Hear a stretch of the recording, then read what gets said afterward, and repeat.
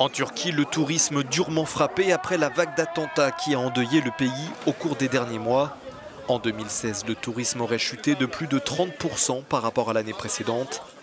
L'attentat survenu dans une discothèque d'Istanbul le soir du Nouvel An pourrait accentuer la chute de la fréquentation touristique. Revendiqué par l'État islamique, il a causé la mort de 39 personnes, dont de nombreux touristes.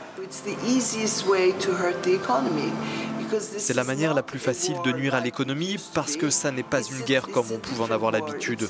C'est une guerre différente. S'attaquer aux villes leur permet de toucher en premier le tourisme.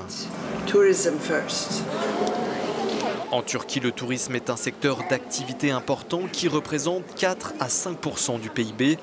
Certains touristes ne veulent cependant pas céder à la peur. On vient ici pour voyager. De toute façon, il y a des troubles dans le monde, c'est un fait. On dit la même chose de notre ville, Dnipro en Ukraine. Elle se trouve à proximité de la ligne de front avec la Russie, mais ça reste calme, c'est la vie. Et nous avons fait le choix de venir voyager ici. En France, le Quai d'Orsay demande aux touristes français qui veulent se rendre en Turquie de faire preuve d'une vigilance renforcée. Seule la zone frontalière avec la Syrie est déconseillée.